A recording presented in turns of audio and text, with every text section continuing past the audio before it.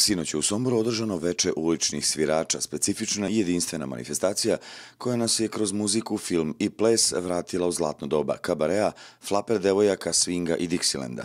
Beogradski sastav Belgrade Dixieland Orkestra nastupili su kao glavne zvezde večeri na trgu Svetog Đorđa, a osim njih na čak 10 balkona sviralo je oko 25 muzičara iz cele Vojvodine. Pomenuti Belgrade Dixieland Orkestra je orkestar koji je stekao značajnu evropsku reputaciju i do sada održao više od 500 koncerata širom Evrope.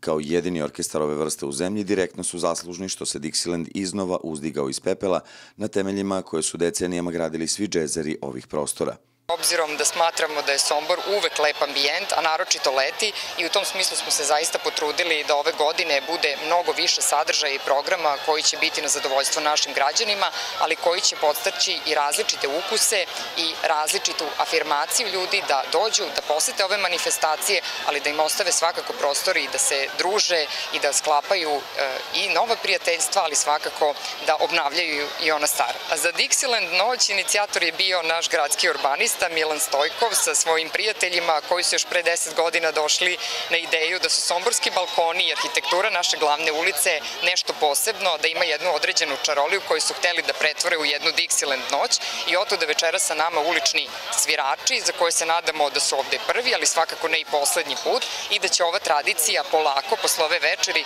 zaživeti, dobiti još veći odjek i širu publiku. Nadamo se da ovo neće biti prva i poslednja manifestacija uličnih svirača igrača iz Novog Sada.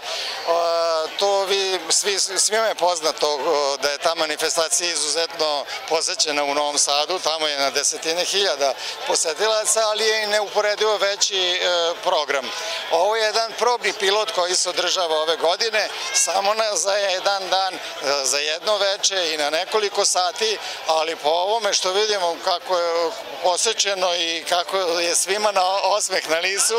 ja mogu reći da sam zadovoljan. Solo, duo, trio sastavi i kvarteti sa balkona u ulici Kralja Petra publici su priredili jedinstven jam session na otvorenom, a nastupili su Katarina Stojkov, The Hat Matters, Pero Stojančević, Hot Club OFNS, Bogdan Spasić, Stedis, Dips Trio, Goran Strugar, Zorana i Đuški duo i NS Jazz Trio. Osim muzike, publika imala priliku da vidi selekciju nemih filmova koji su bili projektovani na fasadama zgrada.